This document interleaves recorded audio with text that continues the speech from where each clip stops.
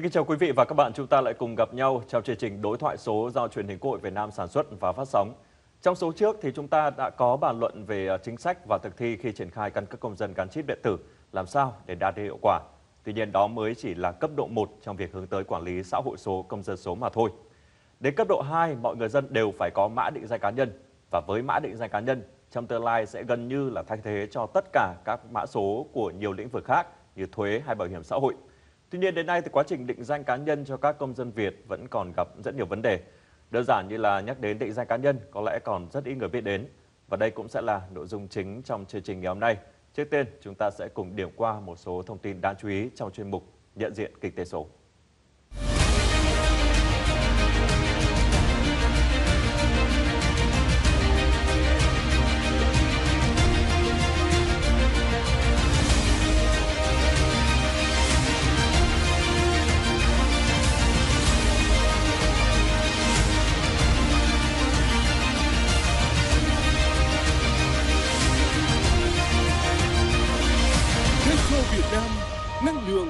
Cho phát triển.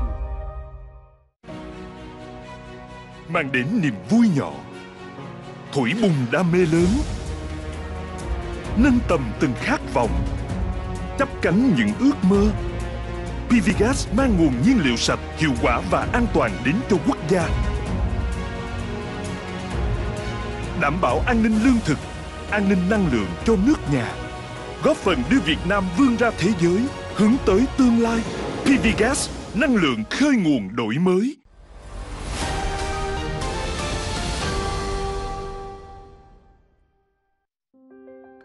Theo Hiệp hội Blockchain Việt Nam, giữa rất nhiều công nghệ tiềm năng, blockchain nổi lên trong những năm gần đây với bản chất là công nghệ lưu trữ dữ liệu phân tán minh bạch, được xem là chìa khóa vàng cho các cơ quan doanh nghiệp trong chuyển đổi số khi có thể ứng dụng vào nhiều ngành nghề, lĩnh vực khác nhau, tiết kiệm nguồn nhân lực và cắt giảm những quy trình phức tạp. Đặc biệt nhờ cấu trúc phi tập trung kết hợp với mật mã học, blockchain giúp tạo ra mức độ bảo mật cao trong các giao dịch ngang hàng nên không cần đơn vị trung gian. Đại diện của Huawei Việt Nam cho rằng mạng 5G là cốt lõi của cạnh tranh kỹ thuật số, nền tảng của chuyển đổi số, chìa khóa để mở cánh cửa tăng trưởng số cho các quốc gia khi cho phép các ứng dụng có thể chuyển đổi mọi ngành công nghiệp và nền kinh tế. Song chúng lại phụ thuộc chặt chẽ vào băng tuần truy cập. Dự tính khu vực châu Á Thái Bình Dương nói chung và ASEAN nói riêng đang bước vào giai đoạn phát triển 5G thần tốc, tiến tới thay thế 50% kết nối 4G vào năm 2030. Đáng chú ý, Việt Nam đặt mục tiêu sử dụng các thiết bị 5G sản xuất bởi doanh nghiệp trong nước. Về kế hoạch ngắn hạn, Việt Nam dự kiến phủ sóng 5G đến 25% dân số vào năm 2025. Tính đến hết tháng 6 năm 2022, các nhà mạng đã được cấp phép thử nghiệm chưa triển khai thương mại mạng 5G tại 40 tỉnh thành phố trực thuộc trung ương. Tại sự kiện Ngày chuyển đổi số quốc gia, Thủ tướng Phạm Minh Chính nhận định Việt Nam có 8 kết quả tích cực về chuyển đổi số, bao gồm 1. Nhận thức và hành động có nhiều chuyển biến 2. Xây dựng chiến lược, hoàn thiện thể chế, cơ chế, chính sách được quan tâm, chỉ đạo 3. Hạ tầng số được tăng cường đầu tư, từ đó nhiều nền tảng số tiếp tục phát triển 4. Cơ sở dữ liệu tạo nền tảng cho chính phủ số, công tác truyền thông được thúc đẩy 5. Dịch vụ công trực tuyến triển khai ngày càng hiệu quả sâu rộng 6. An ninh an toàn thông tin tiếp tục được chú trọng. 7. Nguồn lực tài chính nhân lực cho chuyển đổi số được tăng cường. 8. Tỷ trọng đóng góp của kinh tế số vào GDP ngày càng tăng. Theo CNBC, Google đang hợp tác với Coinbase để triển khai kế hoạch cho phép người dùng dịch vụ đám mây được thanh toán chi phí bằng một số đồng tiền điện tử nhất định.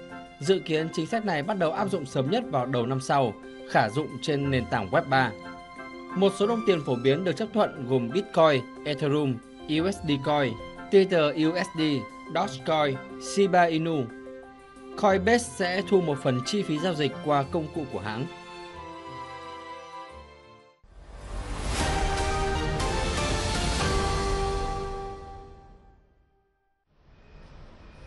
Sau khi được cấp căn cước công dân gắn chip, anh Nguyễn Văn Kỳ được tiếp tục cấp tài khoản định danh điện tử.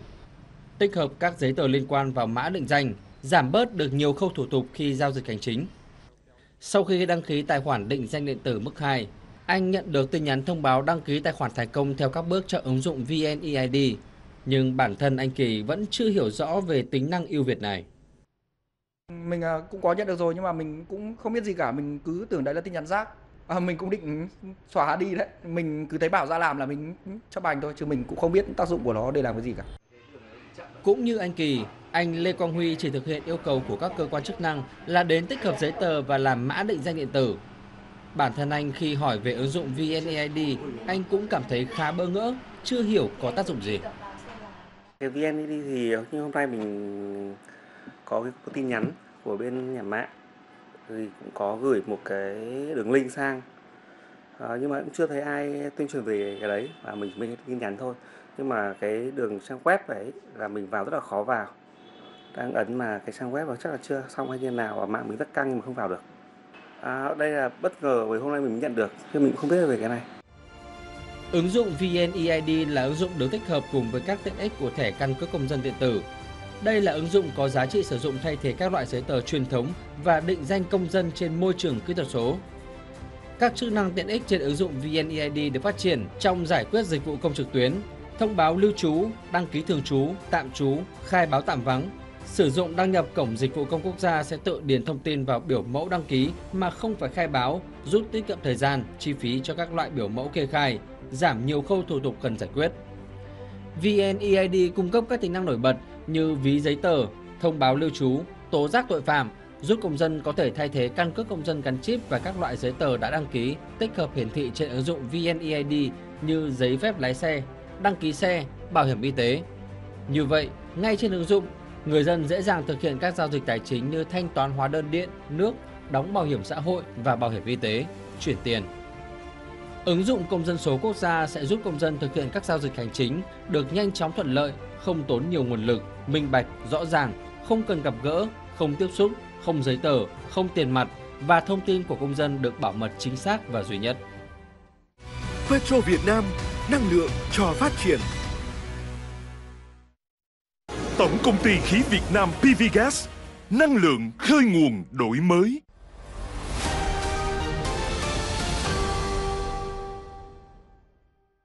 Vâng và để cùng bàn luận với chủ đề của chúng ta ngày hôm nay, tôi xin được uh, trân trọng giới thiệu uh, vị khách mời trong trường quay chúng ta. Xin trân trọng giới thiệu ông Lưu Bình Nhưỡng, Phó trưởng ban dân nguyện của Quốc hội.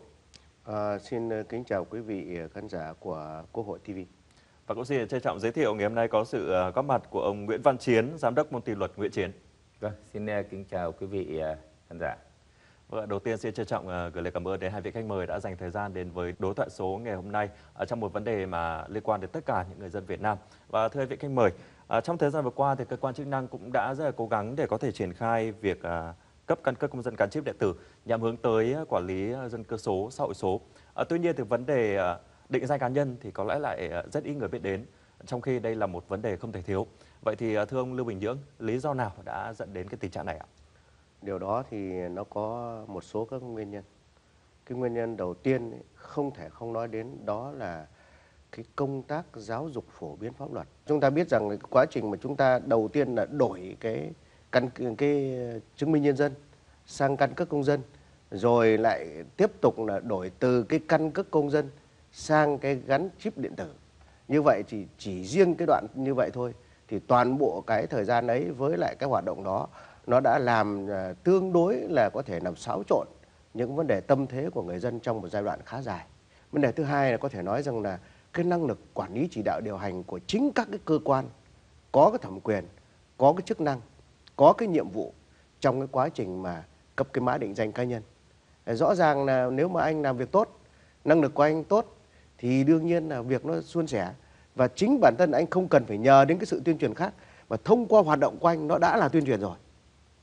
Vấn đề thứ ba thì chúng ta biết rằng là trình độ dân trí rồi ý thức pháp luật của người dân của trong xã hội chúng ta rõ ràng là không đồng đều. Trên tôi cho là ít nhất là có ba cái à, lý do cơ bản như vậy nó ảnh hưởng đến cái quá trình mà có thể nói rằng là cái cấp mã định danh cá nhân vừa qua. À, luật sư Nguyễn Văn Chiến ạ. Thì chúng tôi thấy rằng là không phải người dân lúc nào cũng ngồi đấy chờ để tiếp nhận cái thông tin để mà ra để mà thực hiện những các cái nghĩa vụ ấy. Như vậy thì cái việc mà phối hợp cái công tác này để tổ chức triển khai, để mà làm sao cho người dân hiểu và làm sao có được cái sự hỗ trợ tạo điều kiện và thậm chí tận nơi để giúp cho người dân thực hiện cái công việc này. Về cái tổ chức triển khai cái gắn chip điện tử rồi xác định cái mã định danh cá nhân vào dữ liệu quốc gia thì nó còn đang rất là ngổn ngang và đang còn rất nhiều vấn đề cơ quan chức năng phải giải quyết. Do đó chúng ta cần phải có những các cái rất cụ thể và trách nhiệm và cái sự phối hợp rất rõ ràng mà đặc biệt là làm sao nâng cao cái nhận thức người dân Dạ vâng ạ, đúng là chúng ta còn rất nhiều vấn đề ngổn ngang nữa đúng không ạ trong việc uh, làm sao để có thể cấp mã số định danh cá nhân. Uh, nhắc đến vấn đề công nghệ thì có lẽ là cái vị khách mời cũng đã đều quen thuộc với uh, cái cụm từ là blockchain đúng không ạ? Một cái công nghệ mà cũng rất là được mọi người chú ý đến uh, trong suốt thời gian vừa qua và cũng có rất nhiều ý kiến cho rằng là chúng ta cần phải tính đến việc là ứng dụng công nghệ blockchain trong việc À, quản lý xã hội số nhằm à, tạo thuận lợi trong quản lý dân cư. Vậy thì thưa ông Lưu Bình Nhưỡng, ông, ông đánh giá như thế nào về vấn đề này ạ? Tôi à, đặc biệt quan tâm đến vấn đề này và cũng đã có cái kiến nghị đối với Thủ tướng. Cái phần mềm này nó rất đặc biệt là nó tạo ra những bản sao không thể thay đổi. Và tôi nghĩ rằng mã định danh cá nhân của chúng ta là mỗi một cái người chỉ có một mã định danh cá nhân và không thể sao không thể thay thế. Trên trước đây chúng ta có cái câu chuyện là làm căn cước công dân giả, rồi làm giấy giấy tờ chứng minh nhân dân giả, rồi làm sổ hộ khẩu cũng giả, bằng cấp cũng giả vân vân. Nhưng nếu áp dụng cái blockchain này vào các cái lĩnh vực đó kể cả giáo dục đào tạo khoa học kỹ thuật rồi bảo hiểm xã hội tài chính tín dụng ngân hàng quản lý sức khỏe quản lý dân cư vân vân có thể nói rằng là chúng ta nếu áp dụng được cái này thì đấy là một cái thành tiệu vĩ đại và chúng ta sẽ góp phần vào quản lý rất tốt xã hội và quản lý con người và theo tôi, đấy, chúng ta không cần phải đi trước đón đầu nữa chúng chúng ta chỉ cần tiếp nhận nó là chúng ta ứng dụng vào lĩnh vực này thì đặc, tôi đặc đảm bảo rằng là cái việc quản lý sẽ vô cùng hiệu quả và rất là tin cậy. Dạ vâng. À, nhưng mà trước khi mà nói đến uh, cái việc chúng ta có thể ứng dụng công nghệ blockchain thì ở thời gian vừa qua thì rõ ràng là chúng ta cũng rất là cố gắng áp dụng công nghệ vào trong việc quản lý dân cư. À, cụ thể là trong cái thời điểm dịch bệnh Covid-19 vừa qua thôi thì uh, hai vị uh, khách mời cũng có thể thấy đúng không ạ? À, chúng ta uh, mỗi công dân đều phải thực hiện việc khai báo y tế và à, mà có một vấn đề là chúng ta có cái rất nhiều những ứng dụng mà để người dân lên đó khai báo y tế. Vậy thì Ờ, có việc có quá nhiều những ứng dụng như vậy thì ờ, liệu là trong cái việc ờ, cấp mã số định danh cá nhân chúng ta cũng nên là sẽ chỉ có một cái ứng dụng duy nhất hay không? Cái câu hỏi này xin được dành cho luật sư Nguyễn Văn Chiến ạ. Cái vấn đề này là nó thuộc trách nhiệm của chính phủ và các cơ quan để giúp chính phủ thực hiện những các cái nhiệm vụ nó liên quan đến quốc gia. Thế thì cái việc mà định danh cá nhân để mà nó lưu trữ trong cái cơ sở dữ liệu quốc gia và nó khắc phục được những cái câu chuyện mà chúng ta làm giả chứng minh thư rồi sổ hộ khẩu rồi tất cả những các cái thể loại mà trước đây chúng ta đang còn cái công nghệ rất thô dơ thì cái việc mà các cơ quan chức năng lựa chọn có nhiều những các cái phần mềm nhiều những các cái ứng dụng thì cái chuyện đó là ở cái giai đoạn đầu. Còn đến giai đoạn này chúng ta đang tổ chức triển khai rồi thì chúng ta vẫn có thể là quyết định khẩn trương mà chọn cái công nghệ nào mà nó phù hợp nhất. À, cá nhân tôi cũng là một công dân thì tôi cũng rất là muốn là làm sao tất cả những cái ờ, việc ứng dụng công nghệ thông tin của chúng ta đó là điều cần thiết. Tuy nhiên thì nó cũng cần phải mang tính chất đồng bộ để làm sao để uh, cho những người dân uh, khi mà sử dụng dịch vụ được uh, thuận tiện nhất đúng không ạ? Vâng xin cảm ơn hai vị khách mời và vâng, thưa quý vị khán giả, mặc dù thấy rõ được lợi ích mà mã định danh cá nhân đem lại, thế nhưng đến nay việc triển khai vẫn còn rất nhiều vấn đề cần phải giải quyết, nhất là những vướng mắc liên quan đến thủ tục hành chính ngay từ khi lấy thông tin cư dân. Ly hôn đã nhiều năm, nhưng chị Nguyễn Hương Quỳnh đang sinh sống tại quận Ba Đình, Hà Nội vẫn chưa làm được căn cước công dân gắn chip. Bởi để được cấp căn cước gắn chip thì cần phải tới quyền sổ hộ khẩu. Trong khi chị Quỳnh vẫn chưa tách khẩu được từ phía nhà chồng cũ do chủ hộ không tạo điều kiện cho chị mượn sổ hộ khẩu.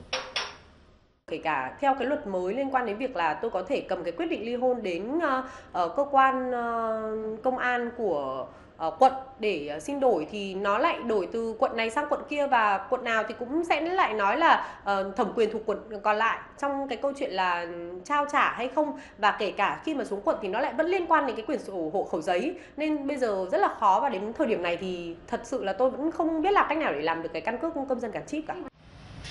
Gần một năm sau khi chấp hành xong án phạt tù, anh Nguyễn Thành Trung ở quận Đống Đa, Hà Nội đã tìm được cho mình một công việc ổn định, một gia đình nhỏ. Nhưng từ đó đến nay, anh vẫn chưa làm được căn cước công dân gắn chip dù đã nhiều lần đi đến các cơ quan chức năng để thực hiện quyền công dân của mình. Ở phường thì cũng ờ, bảo lên quận thì lên quận thì người ta cũng uh, bảo phải, phường phải đề xuất lên. Và cũng biết đề xuất lên rồi, quận cũng nhận để đề xuất lên cục rồi. Thì cũng trên cục cũng không có trả lời và cũng không có hướng dẫn gì cụ thể cả. Mà anh đi đi lại lại lên trên quận phải mười mấy hai mươi lần rồi. À, trong vòng 7 tháng đấy mà không có cách gì và không có ai có thể trả lời được có thể là làm thế nào để có được căn cước công dân. Trong khi đấy thì anh cũng uh, lấy vợ và cũng uh, sắp có bé thì cũng cần có giấy đăng ký kết hôn rồi cũng cần cho giấy khai sinh cho con đi học. Và có những cái thủ tục công việc nhiều thứ khác rất cần giấy tờ mà anh không có cách gì để anh có thể làm được. Việc tạo lập tài khoản trên cổng dịch vụ công quốc gia, giao diện đăng ký dành cho người dân khi đăng ký trên cổng dịch vụ công còn phức tạp, nhiều trường thông tin gây khó khăn trong việc đăng ký. Đặc biệt là việc cấp mã định danh cá nhân cho người sinh trước ngày 1 tháng 7 năm 2021 công dân người ta đi đăng ký khai sinh quá hạn cho cho con những trẻ sinh trước ngày 1 tháng 7 năm 2021 thì người ta sẽ báo lỗi người ta không trả mã số định danh về dẫn đến là cái hồ sơ đấy là không hoàn thiện được. Bên cạnh đó, tình trạng liên thông giữa phần mềm một cửa với phần mềm của Bộ Tư pháp vẫn xảy ra tình trạng đứt đoạn, khiến cán bộ giải quyết thủ tục hành chính không chuyển được hồ sơ sang Bộ Tư pháp, dẫn đến giải quyết hồ sơ bị chậm.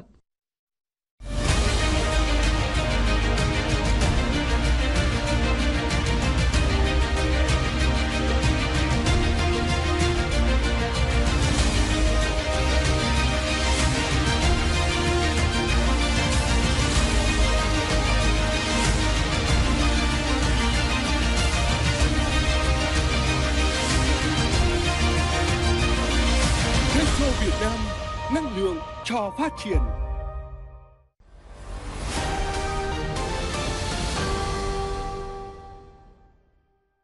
Và vừa cùng quay trở lại với ờ, nội dung chúng ta bàn luận trong ngày hôm nay. À, thưa ông Lưu Bình Nhưỡng, một trong những vấn đề được ờ, nhiều ờ, chuyên gia rất là quan tâm đó là việc liên thông dữ liệu giữa các cơ quan đơn vị. À, thế nhưng trên hết thì chúng ta cũng cần phải có đầy đủ thông tin về dân cư đã. À, vậy theo ông thì đâu là những cái khó khăn trong việc à, kết nối dữ liệu giữa mọi cái lĩnh vực để có thể lấy được thông tin của người dân ví dụ ở trong lĩnh vực giáo dục hay y tế chẳng hạn. Tuy nhiên việc à, lấy dữ liệu ở dân cư này thì phải đảm bảo được tính an toàn và bảo mật cho người dân. Theo tôi ấy chính là cái năng lực tổ chức điều hành và năng lực làm việc của cái cán bộ trực tiếp làm cái công việc này. Tức là anh ở đằng sau một bức màn và anh coi đó là cái đặc quyền của anh. Từ đặc quyền của một bộ ngành cho đến đặc quyền của một cán bộ chỉ nó chỉ trong một tích tắc thôi. Dẫn đến cái chỗ rằng người ta kêu ca là kêu ca cái bộ ngành đó, chứ người ta không biết cái anh cán bộ đó là ai. Chính vì thế cho nên rất cần một vị thuyền trưởng để chỉ huy tất cả những thủy thủ trên một con tàu, từ máy trưởng cho đến thủy thủ trưởng, cho đến tất cả những người phục vụ. Đấy, từ một người bé nhất cho đến người dọn dẹp, cho đến người căng buồm, đều phải chấp hành một mệnh lệnh duy nhất của thuyền trưởng, đó là chính phủ và thủ tướng hay là bên cạnh vấn đề công nghệ thì ờ, điều mà chúng ta cần phải đặc biệt lưu ý là năng lực và đặc biệt là trách nhiệm nữa. Và cái quan trọng cũng như là ông Lưu Bình Nhưỡng có chia sẻ đúng không ạ? Chúng ta cần phải quy về một mối làm sao đó để ờ, có thể ờ, dễ dàng quản lý dễ dàng đưa ra quyết định và đem đến một quyết định nó nó thực sự là đồng nhất dành cho mỗi những người dân đúng không ạ? Thay vì là mỗi bộ ngành thì chúng ta lại sử dụng một dữ liệu dân cư riêng thì cũng rất là khó cho cả người dân và cho cả chính những cơ quan quản lý nữa. Vâng xin cảm ơn ông Lưu Bình Nhưỡng Vâng. À, vấn đề này tôi thấy rằng là đúng như ông ờ, Lưu Bình Nhưỡng nói đấy. Thì cái tại sao cái câu chuyện mà các cứ quyền anh quyền tôi nó vẫn đang tồn tại?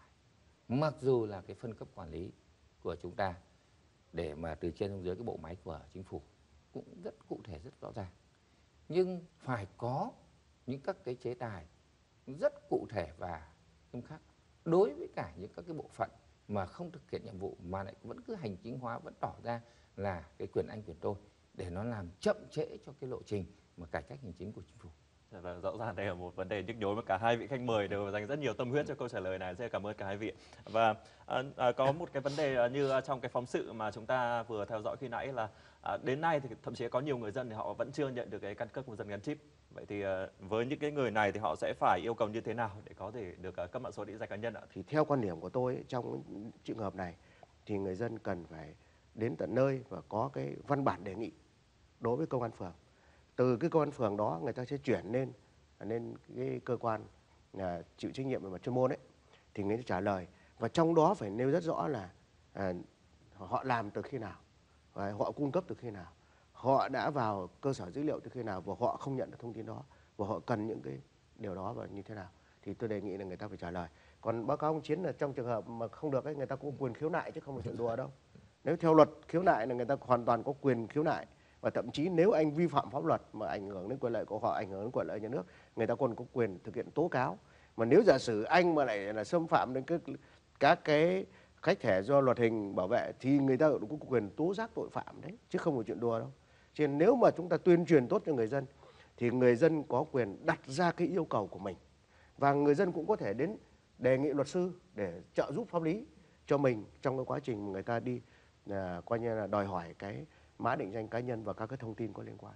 Dạ vâng, chúng ta cũng đã có thể thấy rất nhiều những cái thực trạng à, cũng đã được kể ra rồi, nguyên nhân thì Vâng. cũng đã được à, cái vị khách mời nhắc đến rồi.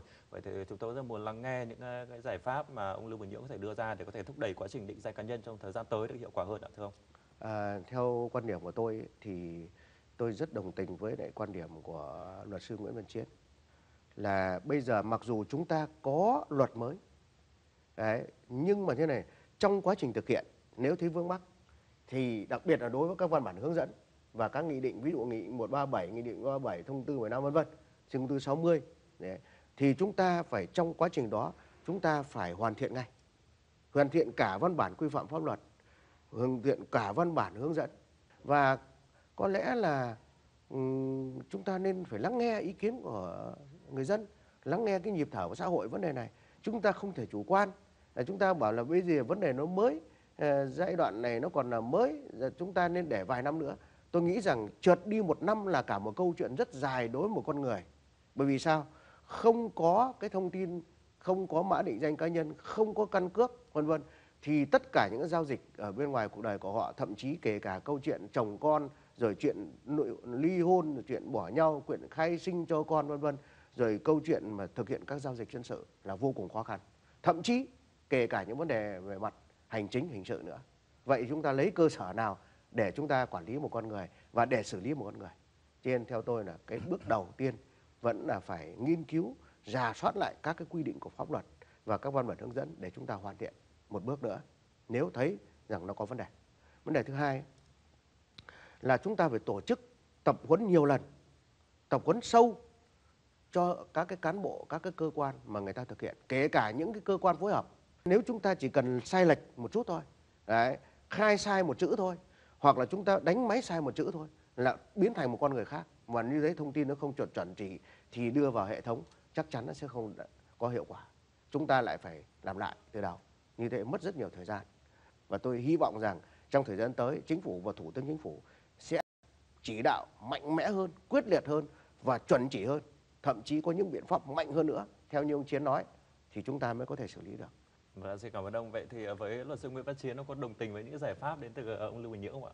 Đối với tôi, tôi cho rằng là thực thi cái luật này, những cái quy định của nhà nước, của chính phủ, các bộ ngành hướng dẫn để mà phối hợp thực thi cái này, thì cần thiết là phải có những cái biện pháp như ông Nhưỡng đã đề cập. Nhưng mà chúng ta phải tổng kết. Mà tổng kết cái này không phải năm 10 năm, mà là tổng kết hàng năm để mà từ đó rút ra những cái tồn tại và đánh giá cái kết quả mà đã tổ chức thực hiện được đến đâu? Làm cái cơ sở dữ liệu quốc gia mà cứ đòi hỏi là phải có những căn cứ pháp lý về cá nhân họ. Ông bố và mẹ rõ ràng như chúng ta thì rõ ràng là không thực hiện được. Vậy thì mỗi một địa phương phải có báo cáo, phải có tổng kết.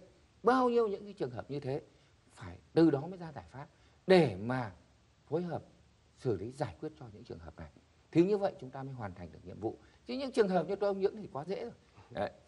Dạ vâng, còn rất nhiều Ờ, vấn đề đúng chỗ không? này tôi muốn bổ sung thêm để cho các ờ, bạn ở đài các bạn Dạ. ờ, lưu tâm thêm trong cái bình luận của mình để cập nhật ừ, những cái câu chuyện mà ông chiến nói ra là nó tương đối phổ biến nhưng có một thứ nó không phổ biến nhưng mà lại rất nghiêm trọng và bản thân tôi thì anh chiến biết là trong cái khóa quốc hội tôi đã đề cập rất nhiều không không ít hơn ba lần đó chính là chính sách đối với đồng bào dân tộc đặc biệt đối với người di, di cư tự do.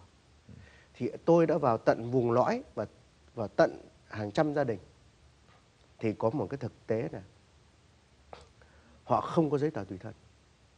Tức lại là họ gần như kiểu là ta gọi là đứng ở ngoài xã hội luôn. Những cái điều đó là những điều rất là đau xót. Nên cái ý của ông chiến nói thì tôi muốn nói rằng là cái chỗ này là phải từ cơ sở.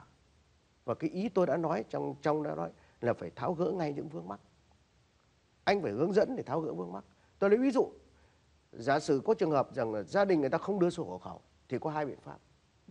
Biện pháp thứ nhất, dễ nhất, đó là đến vận động và cưỡng chế không phải sử, đưa cái thông tin hộ khẩu, chụp cán bộ công an, yêu cầu đưa công an hộ khẩu để chụp, chuyển cho cơ quan có thẩm quyền. Đúng không? Đấy là vấn đề. Thứ hai này, chúng ta, cơ quan công an cũng đã từng quản lý hộ khẩu một cơ quan quản lý hộ khẩu thì đã có dữ liệu gốc rồi thế tại sao không cung cấp luôn cho họ? Thứ ba này nó kết hợp với cái bản án hoặc quyết định của tòa án về vấn đề ly hôn đúng không ạ? Thế thì, thì chúng ta có thể có nhiều biện pháp chứ. Cho nên đấy là những điều theo tôi là nó thiếu đi mất cái sự linh hoạt cần thiết trong quá trình tổ chức thực hiện pháp luật. Vấn đề nữa là ông chiến ạ một vấn đề nữa là đây là một điều rất đáng tiếc của chúng ta là mặc dù nó mới nhưng quan điểm của tôi là quốc hội hội đồng nhân dân phải giám sát ngay từ đầu và lẽ ra bây giờ nếu mà chúng ta, mà chúng ta giám sát chặt chẽ chỗ này, và quốc hội giám sát chặt chẽ, đại biểu quốc hội, đoàn đại biểu quốc hội giám sát chặt chẽ, thì chúng ta sẽ có cái ý kiến, chúng ta có quyền yêu cầu, có quyền kiến nghị đối với các cơ quan có thẩm quyền để xem xét cao nhất là sửa luật, đúng không ạ? Và thấp nhất, đó là chúng ta có thể là chấn chỉnh cái vấn đề thực hiện ở biên giới dạ vâng. đúng như ông Nhưỡng nói đấy, thì tôi nghĩ rằng là cái nhiệm vụ này là cả cái hệ thống chính trị phải vào cuộc để mà thực hiện cái quyền của người dân. Rõ ràng như ông, như ông Nhưỡng nói đấy là công dân của Việt Nam nhưng lại nằm ngoài cái sự quản lý của nhà nước. Bởi vì người ta không có cái mã định danh như bây giờ và trước đây không có thông tin để mà làm căn cước để mà làm hộ khẩu. Không có căn cước không có hộ khẩu thì như vậy là người ta không bởi vì không, không giấy khai sinh. Không có giấy khai sinh thì không làm căn cước được chẳng có hộ khẩu không nhập học được. Rồi là không thực hiện được những các cái quyền khác thì cái câu chuyện này á là phải có cái sự kiểm tra giám sát và có sự phối hợp rồi sự báo cáo và đặc biệt là cái vai trò của mặt trận mặt trận tổ quốc vào để mà thực hiện cái quyền giám sát của người dân. Vâng ạ, rõ ràng ờ, còn rất nhiều vấn đề, ờ, những tồn tại mà đã được hai vị khách mời đưa ra và cũng rất là hy vọng là những giải pháp đến từ ờ, chia sẻ của cái vị khách mời cũng sẽ được nhanh chóng áp dụng trong thời gian tới để chúng ta có thể đẩy mạnh cái hiệu quả trong việc cấp mã số định danh cá nhân, làm sao để có thể đem đến những cái lợi ích cao nhất dành cho người dân và cũng xin được à, trân trọng cảm ơn tất cả những à, giải đáp, những chia sẻ rất tâm huyết của cả hai vị khách mời ngày hôm nay và đặc biệt là luôn hướng đến những lợi ích của người dân. Một lần nữa xin trân trọng cảm ơn ông Lưu Bình Nhưỡng, Phó trưởng ban dân nguyện của Quốc hội và ông Nguyễn Văn Chiến, Giám đốc công ty luật Nguyễn Chiến đã dành thời gian để với đối thoại số ngày hôm nay. Petro Việt Nam, năng lượng cho phát triển. Tổng công ty khí Việt Nam PVGas, năng lượng khơi nguồn đổi mới.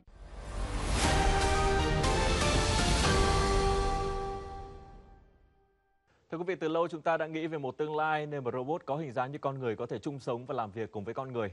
Và viễn cảnh đầy tham vọng đó đang dần trở thành hiện thực khi một robot có khả năng giao tiếp vừa được tuyển dụng làm nhân viên tại một bảo tàng ở Dubai. Và trong phần cuối chương trình, mời quý vị và các bạn cùng đến thăm bảo tàng và làm quen với nhân viên đặc biệt này. Thông tin công nghệ đáng chú ý này cũng sẽ khép lại chương trình đối thoại số ngày hôm nay. Cảm ơn quý vị và các bạn đã quan tâm theo dõi. Xin kính chào tạm biệt và hẹn gặp lại trong các chương trình tiếp theo. Bảo tàng của tương lai là một công trình kiến trúc độc đáo, biểu tượng mới tại Dubai, vừa được khai trương hồi cuối tháng 2 năm nay. Đây là một không gian rộng lớn dành cho các dịch vụ, sản phẩm công nghệ kỹ thuật sáng tạo có thể ứng dụng trong tương lai. Bước vào bảo tàng những ngày này, nhân viên đầu tiên đón bạn sẽ là robot hình người tiên tiến nhất trên thế giới, có tên là Amika. My name is Amika. I'm a humanoid robot and I work for the Museum of the Future. Do you have any question for me? Cảm ơn bạn. Tôi rất vui khi gặp bạn ở đây, tại Bảo tàng của tương lai. Đây là một phần trong cuộc triển lãm mới nhất trưng bày 50 đổi mới công nghệ có thể giải quyết các thách thức trên toàn cầu. Tuy nhiên, Ameca không phải là một sản phẩm trưng bày mà nó nhận nhiệm vụ chào đón khách. Chúng tôi đã tuyển dụng nhân viên mới nhất của mình tại đây, đó là Ameca. Chúng tôi đã làm việc với công ty Engineer Art để đưa robot hình người mới nhất và tiên tiến nhất trên thế giới đến với bảo tàng của tương lai. Amica do công ty Engineers phát triển được kỳ vọng là nền tảng sáng tạo thêm công nghệ robot trong tương lai sau khi được ra mắt lần đầu tiên tại triển lãm điện tử tiêu dùng CES 2022 hồi tháng 1 năm nay. Cơ thể của Amica được làm hoàn toàn bằng kim loại và nhựa. Với trí thông minh nhân tạo, Amica có thể nói, trả lời một số câu hỏi, hướng dẫn chỉ đường tại bảo tàng. Ngoài ra, robot cũng có thể tạo được nhiều biểu cảm khuôn mặt khác nhau như cau mày, cười vui hay nháy mắt.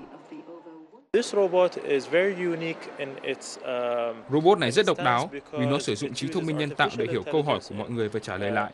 Ngoài ra, nếu bạn nhìn vào các biểu hiện trên khuôn mặt của nó, nó bắt chước rất giống chúng ta, từ biểu cảm cho tới ánh nhìn. Thật là tuyệt vời khi tôi hỏi một câu, Ameka đã trả lời lại. Khi tôi nói bạn thật dễ thương, nó cũng đáp lại bạn cũng xinh đẹp, thật sự rất thú vị.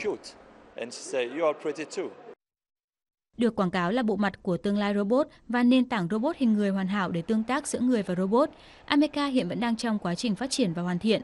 Công ty Engineer Art chưa tiết lộ chi phí sản xuất robot là bao nhiêu, tuy nhiên họ cung cấp dịch vụ cho thuê robot Ameca để xuất hiện trong sự kiện hoặc triển lãm.